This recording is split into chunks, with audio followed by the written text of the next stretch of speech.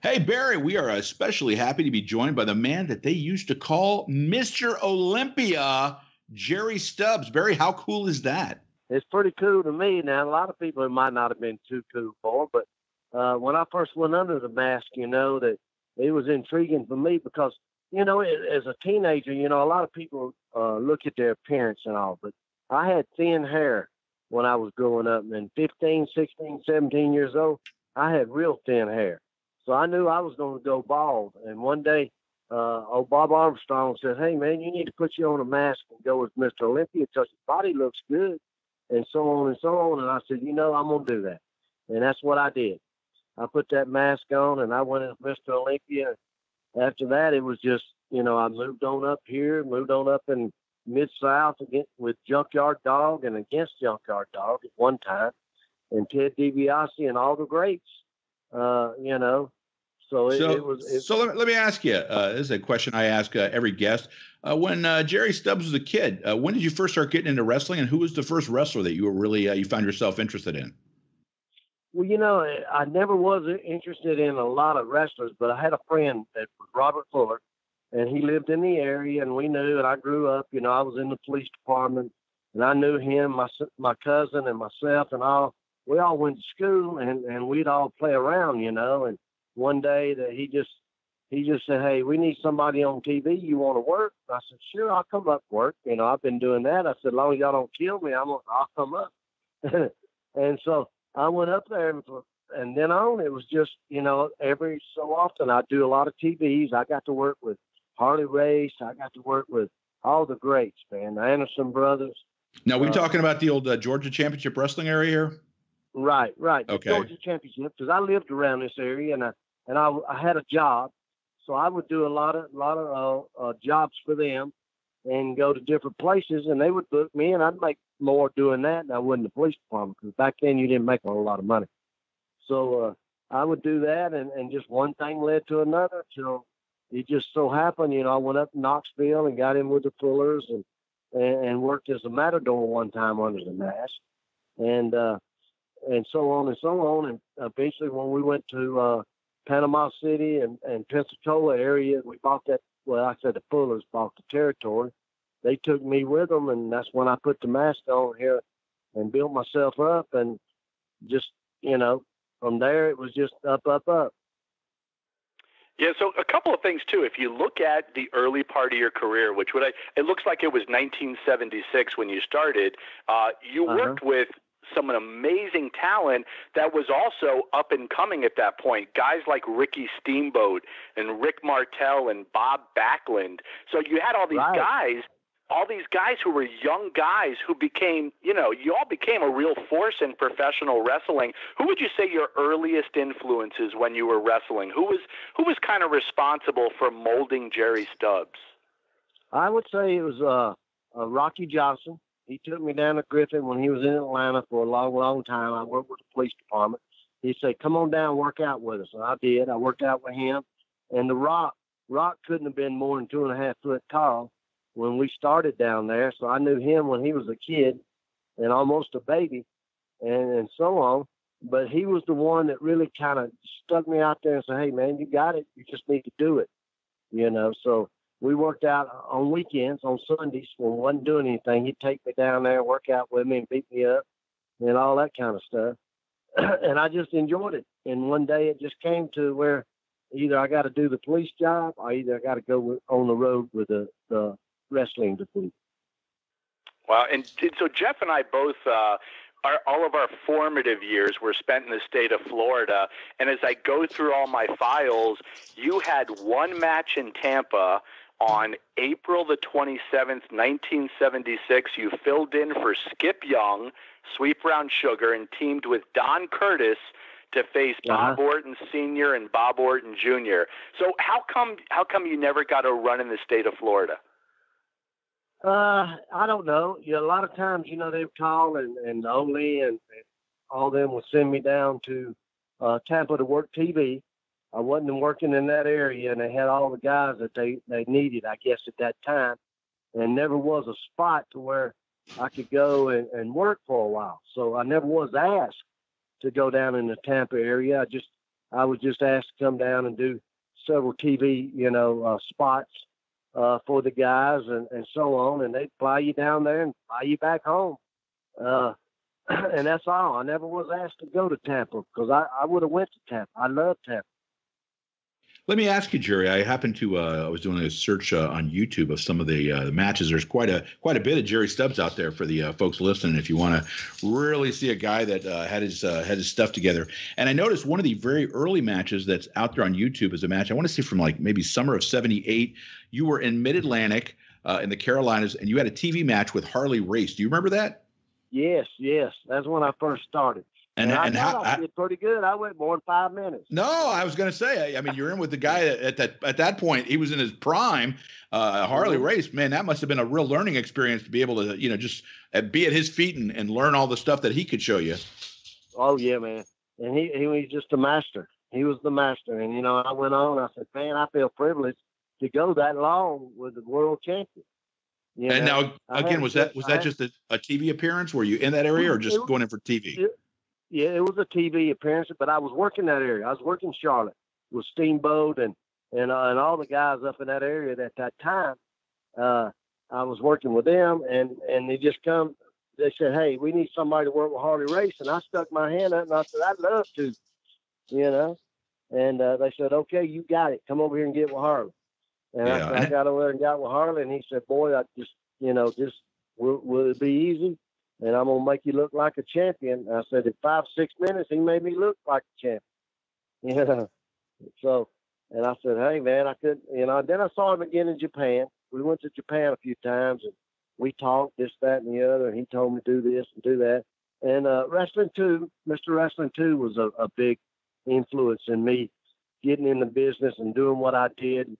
Uh, he he would coach me and tell me what I need to do and what I didn't need to do, and he'd hit me with that knee every once in a while because they put me against him and, and TV and Macon Jordan sometimes. And he'd hit me with that knee, and he said, "How'd you like that?" You know, and I'd laugh. I said, "Oh, I loved it." You know. Yeah, I'm a, I'm going to get to Mr. Wrestling Two in a little bit because I got there's more to that story that I want to talk to you about. But I wanted to ask you, so how long did you stay in the Mid Atlantic area? Do you remember? Uh, I was there probably close to three years, maybe. Oh, you were there that long? Yeah, or uh, two and a half, three years. I was there. I went in the first time as Jerry Stubbs and did a little deal, da da da da, and then later on I went back in after I, after I got built up as Mr. Olympia, and we teamed up with Junkyard Dog. Gotcha. So if, if I look at it too, the Mid Atlantic area, working for the Crockett's, uh, looks like the first territory where they really started to give you a little bit of a push too. Where in Georgia you had been around Georgia for a couple of years, but you get to the Mid Atlantic area and you're you're you're you're on kind of a win streak at this point. You're getting a bit of a push. Uh, I've right. always thought this too, and and I said this to Jeff earlier too. Was there ever any consideration for your career to go national, to say to go up north or to go out west. It, it seems like you stuck around the South and maybe went as far as to work for Watts in the Mid South area.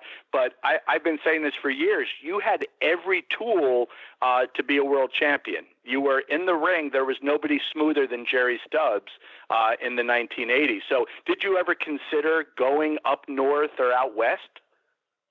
Yeah, I did, and I and you know, and I, I inquired about about it, and uh, so on and so on. Went to a lot of Japan trips, you know, with the guys and all that, but never had that really person to say, "Hey, we'd like for you to come to uh, up here in New York or whatever." I did one time. Uh, me and Arn Anderson, we were going. Ric Flair was taking us up to New York. Uh, when we was going to work for New York, Arn went, and uh, but at that time, I developed a uh, uh, blood clot in my leg, uh, and I, and that was I was going to be the only. Actually, at that time, I would have been the only mass wrestler at that time. Flair said, "You'll be the only one. Won't be another." You know, and I developed that uh, blood clot, and that just knocked my whole thing out of it. So let me just ask you: When, at, at what point in time uh, what was the mechanizations like? How did you uh, get approached to go to Mid South with the Mr. Olympia uh, mask and as a Mr. Olympia character. Bill called you, or who called you? How did that all, all start to work? Uh, what happened? I think Ron Fuller called. He said, but he said Bill Watts called. He said they've been looking at some pictures and some films of you, Mr. Olympia, and and they trying to make a decision between you and Mike Sharp at the time, uh, which one they were going to take. And and then they called back and they said we would like for him to come over here. We'll do this. We'd like him to come talk. We talked about a guarantee and so on. And, and Junkyard Dog was there. Him and Bill was kind of tight. And uh, Junkyard Dog says, "I want you to be my partner."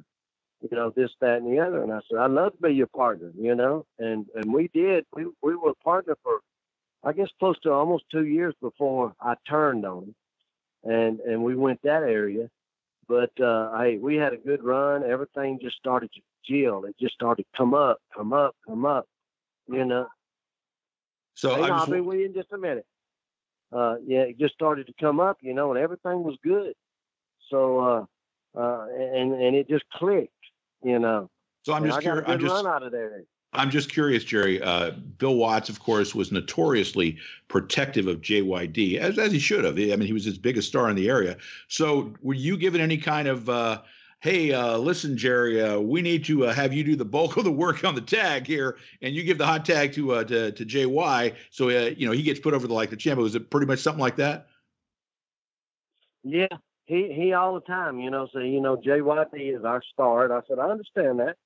I said, I'm I'm the second star because I'm gonna be with him, you know. And yeah. I said, whatever he needs, I was home. I, I said I can carry the match. I, at that point, I was in good shape. I did this, I did that. I said, you just leaving me. I tell dog every time we got a dog, you just take it easy.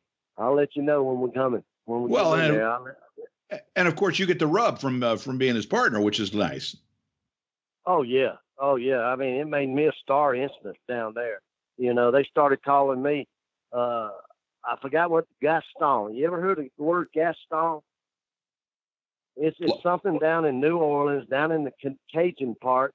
And it, they always told me, I said, y'all keep calling me Gaston. Who is Gaston? And they'd tell me, it's the alligator man in the swamp. I said, I remind y'all of the alligator man in the swamp. And they said, oh, yeah, you, you Gaston, you Gaston. I said, okay, I'm Gaston. Well, I hope it's a good thing. yeah. Oh, yeah, man. They either liked you down there or they told you they didn't like you. Yeah, which is uh, we've heard we've heard so many stories. I think from Jim Cornette as well of uh, of fans and just you know how crazy some of those fans could be. So Jerry, I'm going to take a left turn with my questioning right now, as I often do when we get on. Uh, we have a, a celebrity with us, and uh, so our my partner Jeff Bowdren is a uh, born in Tokyo and uh, he has been in South Florida now for some 35, 40 years, but he's moving to kind of your neck of the woods. He's moving to a suburb of Atlanta uh, called uh-huh. Alpharetta. And the first thing we've got to do for Jeff is we've got to figure out where we're going to be able to feed this boy. So, so when Jerry Stubbs goes out goes out to dinner, and I got to first thing I'm going to ask: Do you go out to for, for barbecue? Because barbecue is a favorite of ours. Where would you uh, go uh-huh. locally to get good food or good barbecue in the area? Well, if you go, I don't know a whole lot about Alpharetta, but I mean, you're gonna find a good barbecue place because there's not any bad eating places in Alpharetta. Uh, you'll get barbecue, you'll get good steaks, you'll get good chicken, you'll get all the good food that you know that we wish we could get on this end of the town, but we don't. Some of those restaurants we don't have, but they don't have when you get to Atlanta, there's a thing on TV that says Atlanta Eats, and it tells you the good spots to go. Uh, I would listen to that. I would I'd go in on my on my email or by app or whatever and look at AtlantaEats.com. And I'm telling you, there, there there's so many good places to go in Atlanta uh, and Alpharetta, Alpharetta to Atlanta.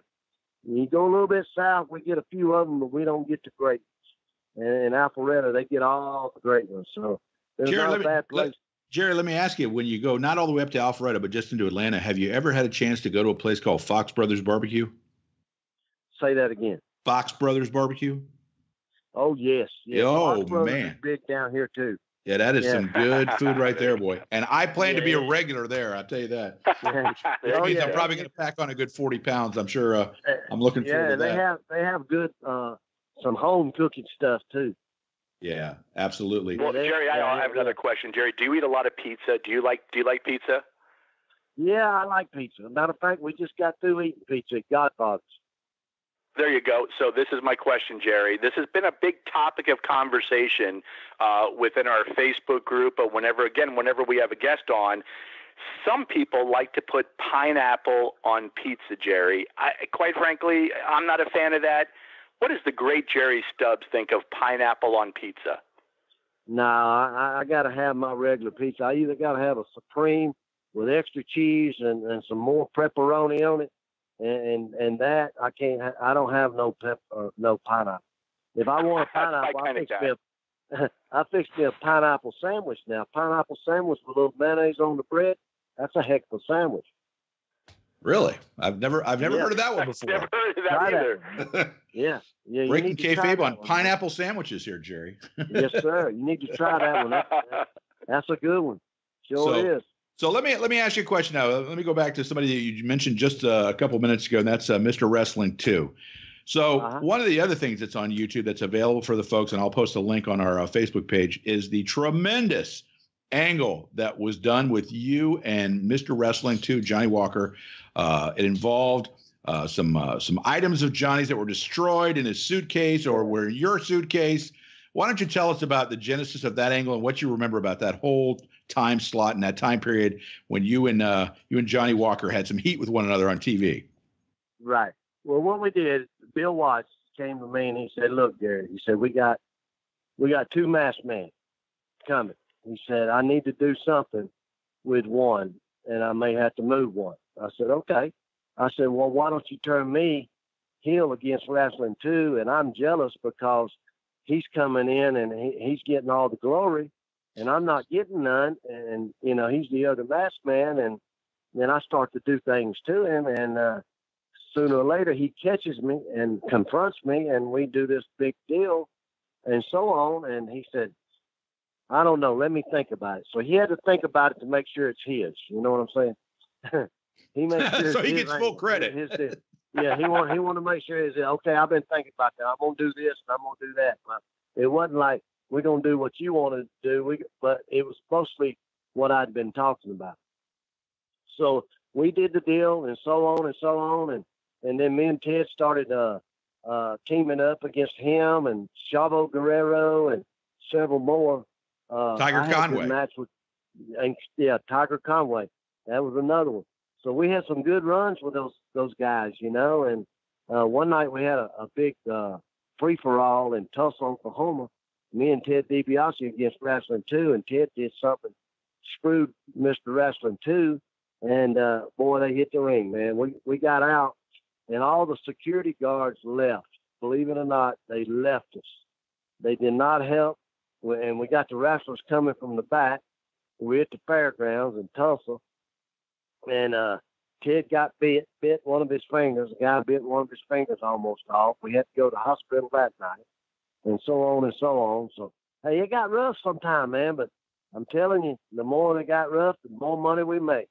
So, so in the Mid South territory, it's you know Jim Cornette on his show has talked about the fans, some of the notorious places uh, in the Mid South area for fans. Where did you find the worst fans? Was it you know Tulsa? Was it Louisiana? Where was it?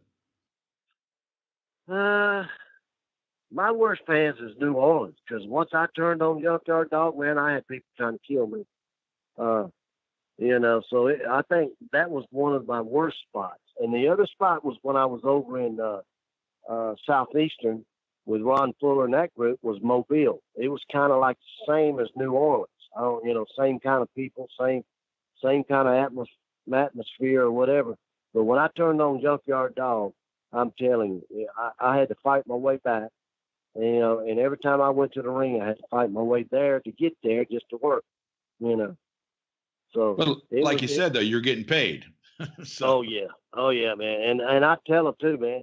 I'm gonna make some more money. Y'all just keep coming, because I'm gonna knock one of you out each time you come up. you know. So it, it was well, fun, you know. And I know I wasn't a big brawler in my day, you know. I was a small guy coming up out of high school. I weighed about 145. But as soon as I got into the wrestling business, I got, you know, more and more. But at 145, I, I'd, I'd fight you in a heartbeat, you know, and that was some of my problem in high school. I'd fight you in a heartbeat. Don't, you know, don't, don't cross my path because when me and you gonna have it out. Uh, and so I got a lot of trouble back then, but I was a go-getter and a fighter. So I think that helped longer, you know, later on in the years. I think that helped. So one of the other things too that the uh, the Bill Watts territory was known for were these insanely long road trips, where uh, you know you, you might be traveling from city to city, several hundred miles. So, who was? Did you have a regular traveling partner? And uh, what did you guys do to pass the time? You know, if you're going 600 miles, you guys are you're probably having fun. And I've heard some of the stories about from some of the guys.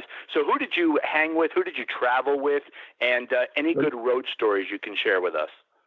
The, the most uh, me and Dog try. Uh, we travel mostly Bill Watts sold him a Mercedes that he had, almost give it to him. And and uh, Dog didn't like to drive. So he'd say, Hey, hey, oh, he called me oh, Mr. O, come here. You want to drive? He said, Look, let's go work out as soon as we can in the morning and we'll go eat and we'll take off. We'll go to the show.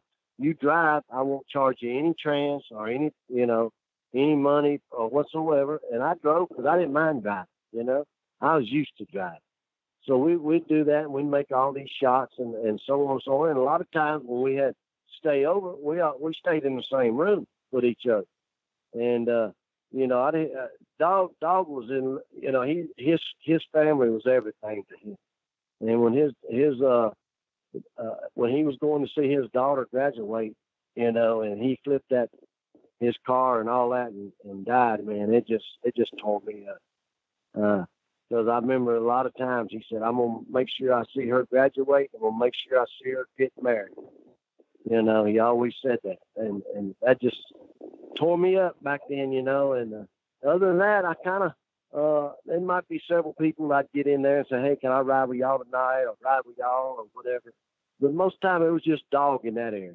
So let me let me ask you, just so we can put this in context for uh, for people that haven't seen a lot of Mid South and aren't familiar with the legend of JYD, especially in the New Orleans area. So you're driving in the car with him. Just how incredibly over was that guy in that area? Oh, Dog would talk about. He said, "You know what? What's that?" He talked to me about. What do you think I ought to do tonight? I said, "Dog, you just keep doing what you've been doing. Don't you hear them people talking? Don't you hear them people hollering, screaming? JYD. Don't you hear that when they, you play that bad to the bone? They said, I said, when I go out with you, I got chill bumps, so I know how they feel. He said, you think so? You think I'll? I said, no, hey, I'll, I'll get the match started. I'll get it going. This, that, and the other. You come in and do what you normally do is uh, destroy ever whoever's there, and we'll keep moving. And he said, okay, I'll, I'll, know, let me think. Are you sure that's right? And I say, that's right. Hey, that's what we're going to do tonight. You know, just trust me when we go out, when we get through, he'd say, "Yeah, you had it right, man. You had it right. I appreciate it." But besides that, I, am really referring to like the his celebrity status. So, like you know, you talked about, oh, we're going to go work out, and then we're going to go have some breakfast somewhere. I mean, mm-hmm. could he in that area really go out in public and not be inundated with fans, or was he able to just kind of blend in? He uh, several places we went to was uh, kind of uh, rough because everybody wanted an autograph and everybody wants to see JYD. But we did a lot of things like when we worked out at Foxy's gym in, in uh, New Orleans, we'd go early. We'd be we'd be there at five o'clock. So we didn't have a lot of people that were, you know, bothering us or whatever, whatever. And he'd like to then go eat early and so on. There'd be a few people, you know, that that recognized him. But if we stopped somewhere along the way, it didn't matter where it was. Oklahoma, Louisiana, Mississippi, there's a bunch of them that knew who he was. Well, so one of the things that interests me also is uh, you were actually one of the NWA World Junior Heavyweight Champions when you won the title from Les Thornton, uh, January right. 1981, and and the lineage of that title is, uh, in my opinion, that's one of the most important titles I think ever in professional wrestling. Based off of the quality of wrestlers who held it. And for years, that was kind of known as the Danny Hodge title, you know, and, and obviously one of the greats of all time. Uh, and then it was Danny Hodge and Hiro Matsuda, and a guy like Les Thornton, also just a tremendous, tremendous wrestler. Uh, what what was it like, you know, being in the ring with a guy like Les Thornton, who was a ring general, uh, trained in the British style of professional wrestling? Oh, it, it it was so so easy, so going. When I got the United States Junior Heavyweight Champion, I was I was actually I looked good. If you look back where uh, pictures and all that stuff, I looked real good at that point. I only weighed about 220, 225, and uh, I was well built, had a good tan, had a little hair back then, and and my body looked good, and and so on. And I went with him. I went with a guy named Dickie Steinborn, you know, uh, Les Thornton, and so on and so on. Uh, uh, even the world champion. Uh, uh, Nelson Royal. Uh, so I mean, I, I worked with all those guys, you know. And back then, I, I mean, I, I just had it going for me. I just knew that, hey, man, give it to me. Just let me run with it. Just put me in the middle of the car and let me go. And uh, that's what they did. And I had a good run through that. And then eventually, I got a little, little heavier, a little outgoing, and and had to change my appearance. So, well, let me ask you. You know, you talk about all the guys that you've uh, you wrestled with, that you dealt with. You know, talking about JYD. So, after you leave Mid South, I know you go uh, eventually down to Southeastern, and right. uh, as Mr. Olympia, and they hook you up with a young wrestler just starting to make his way, who they I believe call Super Olympia when he first came down there. Tell us about the formation and as the development that you saw as the tag partner of Marty Lunde who we know as Arn Anderson. Right. Well, we were over in Louisiana, and uh, Marty was looking for a place to go, and him and a little referee that they had that he wanted to bring with him. He was living with his his grandmother, and his grandmother finally passed away.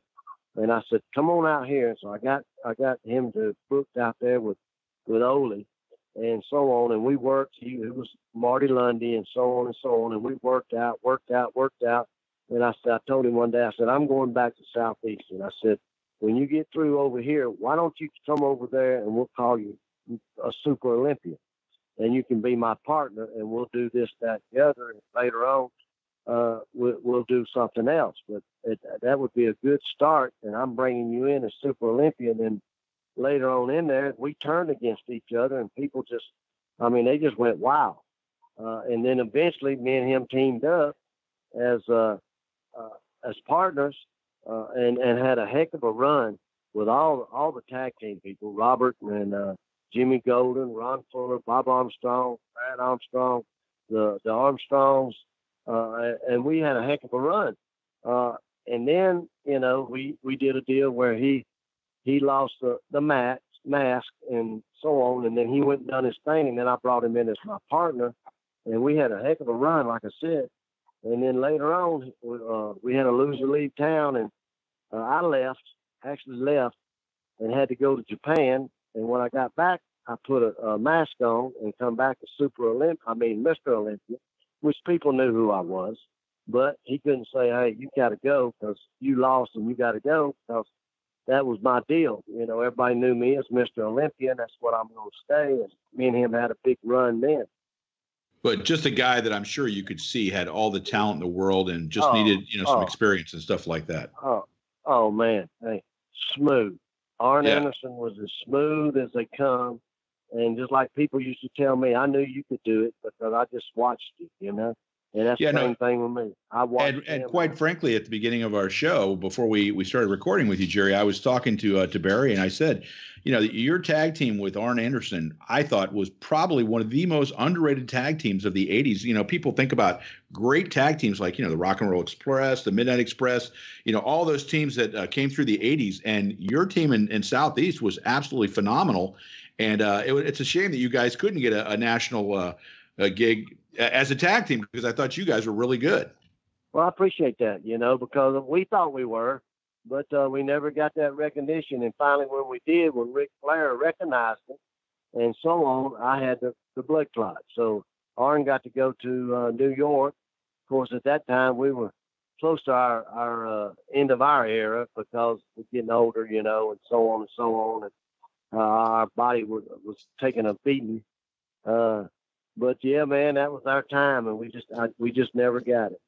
Gotcha. So Jerry, in your career too, you were really successful as both a heel and a baby face. And uh, did you have a preference? And a lot of times when we ask guys that question, the immediate response is, "Oh, I loved being a heel. I love that." Oh, yeah. uh, how about you? How how do you do you do you fall into that as well, or? Oh yeah, oh yeah, yeah. It's uh, yeah, that that that's the fun of it. You get the people up, you get them excited, you get them riled up, you get them saying what they want to say. Just holler and scream if you want to. That's why I want you to come out here. You know, you pay your money, holler and scream at me. I want you to scream at me the more boos I get, the better I know I'm over. And uh, so on and so on. And, and man, being a heel, uh, it, I, I mean, I was a good one. There's some things that I shouldn't have done when I was a heel because I made them so mad. And, and some of the things people said, oh, you shouldn't have said that. I had one guy one night, he was in a wheelchair. I hate to say it, he was in a wheelchair. He was screaming, he was hollering, he was throwing things at me, this, that, and the other. And I got the mic and I went over there and I said, look, you know, I'm tired of you screaming, and you hollering, all that. But if you can't stand up and say that to me, then I don't need you saying nothing.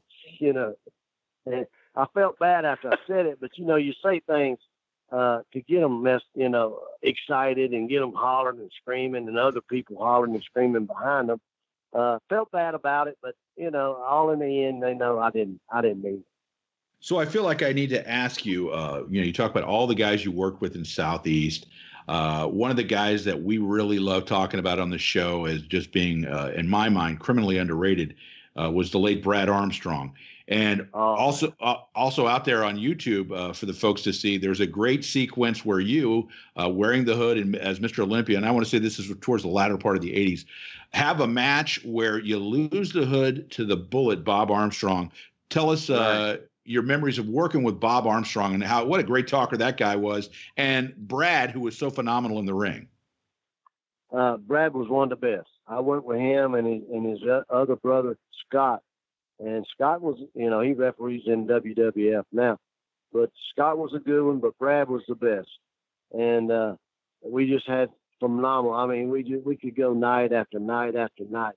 Uh, 30, 40, 45 minutes. It wouldn't matter to us. We just enjoyed but Brad was one of the best. Now Bullet Bob, he was the master of the uh, of all the all the bro all the boys. You know, he he was the best. Me and him had some matches that you just wouldn't believe. But we had a, a loser leave one night, or actually one night we had a uh, loser has to take the mask off. Of course, we knew he was Bullet Bob, but everybody wanted to see me take my mask off. You know, and so on and so on. So we did, and we lost. I lost the match and whatever. But when I pulled it off, I had one underneath, and they just went wild. They just went crazy, crazy, crazy. And we had another. Two weeks later, we went back and and had a rematch and so on. And said I can't wear one underneath. I only got one match. And then they pulled it off, and yet you know we pulled me out of the ring and they covered my my face and all that. But you know it's funny because they all knew who I was you know, and, and so on. But they just wanted that mask off my head, and so, so sooner or later, when they got it off, they went nuts, and so on and so on. Then I started being a heel as Jerry Stubbs, worked with a Dirty White Boy, Tony Anthony, and, and now me and him, we had a good team. Yeah, another uh, guy was a great hand. Yeah, he he he was real good. We had a great team, uh, and we we had a go uh, a go at it for a while and you know that kept me and kept me down there in the southeastern area longer than I figured I'd ever stay. Because uh, I had a run as a baby face, I had a run as a Jerry Stubbs, as Mr. Olympia, uh, uh, Jerry Stubbs again, and so on and so on. And I stayed for years, uh, you know, uh, until everything just kind of folded up. So, well, let me ask you, Jerry, as we begin uh, kind of wrapping up. We certainly appreciate you giving us your time here tonight. Uh, I did hear a story that I wanna I want to talk to you about, and that was about a meeting that you had with a young Curt Hennig, where you gave Curt an idea for a gimmick. Can you tell us about uh, talking to Curt about Mr. Perfect? Oh yeah, yeah. We were we were in Japan. Me and Curt was in Japan. He was going and and, and so on and so on. And, and Curt liked to drink now. He liked to drink and we'd get to go out with the Japanese people, and they would take us down to this place or that place, and all the girls would come over and sit with us at the table, and we would drink whatever. And he loved, uh, uh, shoot, what was that? Uh, bourbon. He loved that uh, bourbon that he got, uh, and it cost a hundred dollars a bottle now. And they, they didn't care. They get it. Hey, you want another bottle? You drink another bottle. So he was saying, you know, I got to go back to New York, and I got I got to figure out something that I can do, or, I probably won't be there long. You know, they they, they won't use me much. I got to have a gimmick. And I said, well, Curt, well, I, I've used it just a couple of times. I said, why don't you go ahead and call yourself Curt Hennig, Mr. Perfect, and get you some stuff that, that kind of matches the outfit and do this, that, and the other. And he said, well, you don't mind? You don't want to use it? I said, look, it don't look like I'm going nowhere here but Japan, you know. I said, so take it back with you and, and try to make some money with it and do your best. And so he did. And uh, they called him Curt Hennig, Mr. Perfect, and I watched him a lot. You know, and I didn't mind it all.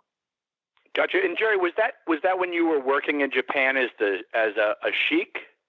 Right. I was a sheep.